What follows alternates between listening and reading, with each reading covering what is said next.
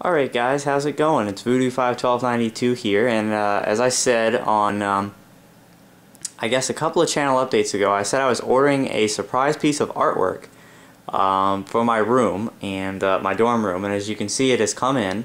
It's on my wall, alright, and uh, I apologize for the glare here on the left side. It's coming from the light from the window. There's really not a lot I can do, but um, as you can see, this is from Game Informer, and uh, basically what it is is uh, a collector's uh, poster for their list of the top 30 video game characters to define the last decade, you know, meaning 2000 through 2010.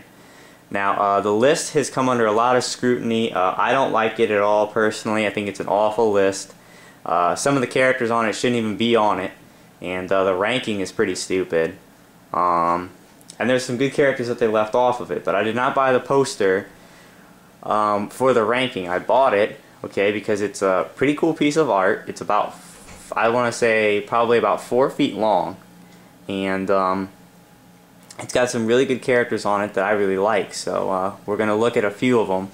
Uh, as you can see here on the left side, some people I don't know. This is Ethan Mars. It's really tough to see because of the glare, which I apologize for. He's there with the red balloon.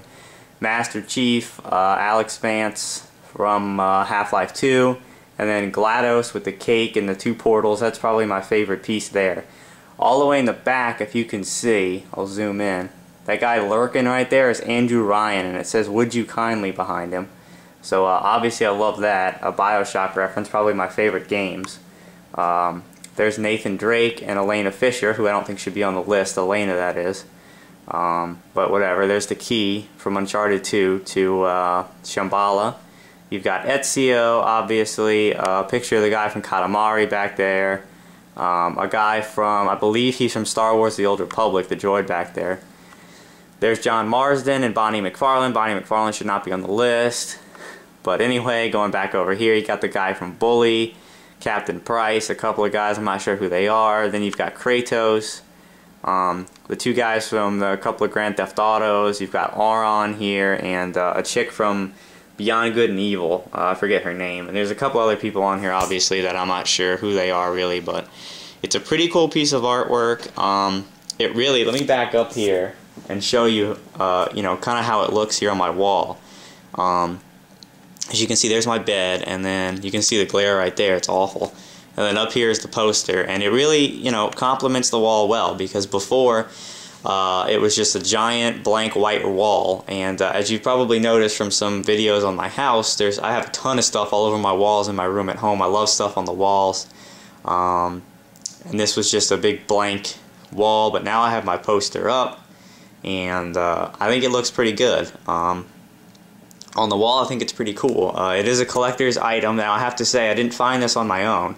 Uh, I have to give credit to DSP here because I was watching his condo tour, and uh, he actually has this same poster in his bedroom, and he obviously explained on the uh, video what it was um, and said where you can get it. So I give credit to him for, you know, telling, you know, explaining where it is and where you can find it. Um, so, uh, yeah, I don't know if it's actually level on the wall. It looks looks a little off. It's hard to tell such a big poster, but um, but anyway, so it is on GameInformer.com. I believe that's that's where I went to buy this.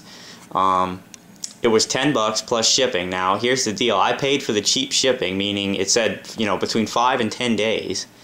And uh, actually, it came in in two days, um, which is pretty funny. Uh, they give the tracking now. I, I, it actually, you actually order it through GameStop.com. That's where the order actually goes from. It's where they link you from the Game Informer page. So, um, and they, they provide a tracking number, and I clicked on it. Uh, you know, the first day when I ordered it, nothing came up, and then uh, either the next day or a couple days later, I checked back, and there was no update. The only thing it says was delivered to my house, and sure enough, it was there. So.